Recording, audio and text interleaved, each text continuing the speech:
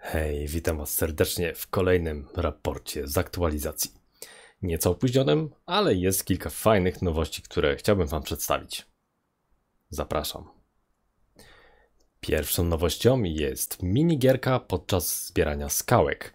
Jak widzicie, mamy tutaj teraz taki świecący punkt. Za trafienie w niego otrzymujemy bonus, czyli możemy zbierać skałki znacznie szybciej. Podstawowy bonus to 150%, ale rośnie on aż do 300, jeżeli wykonamy całą gierkę prawidłowo.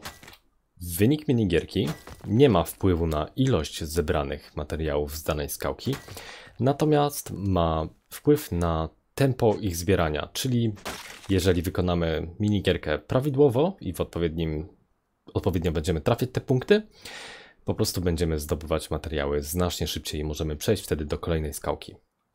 Deweloperzy pracują również nad szafkami w przeróżnych monumentach, z których będziemy mogli sobie zbierać lód zamiast e, po prostu przeglądać skrzynki, tudzież uderzać w beczki. Będą normalne szafki, na których będą leżały przedmioty, które będziemy sobie mogli zbierać. Kontynuowane są również prace nad czołgiem. E, jednak nie został on do tej pory ukończony. Został również dodany prosty samouczek, który pokazuje nam podstawowe informacje na temat interfejsu, czyli jak przejść na przykład do e, widoku ekwipunku, tudzież do widoków, w którym możemy tworzyć sobie przedmioty. Ma to na celu uprościć grę dla nowych graczy oraz umożliwić wyjście Rasta z fazy Early Access.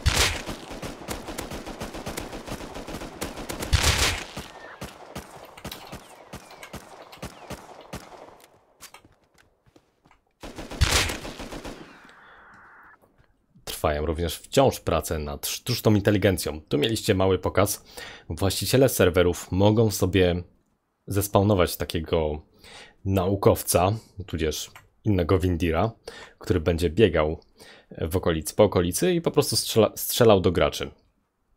Nie ma tego jeszcze na oficjalnych serwerach, jednak, no tak jak już powiedziałem, jeżeli macie swój serwer, to możecie sobie takiego typka po prostu zespawnować za pomocą komendy spawn scientist. Wystarczy, że wejdziecie do konsoli, wpiszecie to, no i gościu się pojawi. Są oni agresywni i z pewnością zaczną do was strzelać, więc miejcie się do, na baczności. Jak już wspomniałem, nie ma ich jeszcze w grze, jak widzicie, mają broń i upuszczają broń, więc będzie szansa, prawdopodobnie będzie szansa na, zdobywaniu, na zdobywanie broni właśnie z ich ciał oraz racjutów. Są również trochę zbagowani, bo noszą przy sobie po tysiącu e, karabinów, no ale wiecie, nie są jeszcze normalnie dostępni w grze oczywiście, więc e, nie powinno być wielkiego problemu. Usunięta została opcja odpalania gry korzystając z DirectX 9. E, ma to zapewne związek z tym, że Unity zaprzestaje wsparcia dla tej technologii, więc pozostaje nam używanie DirectX 11. Trwają również prace nad nowym plecakiem, który będzie widoczny na plecach postaci. Tutaj możecie sobie zobaczyć screen, jak to ma wyglądać. Kolejną rzeczą, nad którą pracują deweloperzy są nowe modele wyglądu zewnętrznego graczy. Tu macie kilka próbek, jak to może wyglądać w przyszłości. Dzięki wszystkim za oglądanie. Mam nadzieję, że ten krótki raport z aktualizacji Wam się podobał. Jeżeli tak, pamiętajcie, żeby zostawić łapkę w górę i do zobaczenia.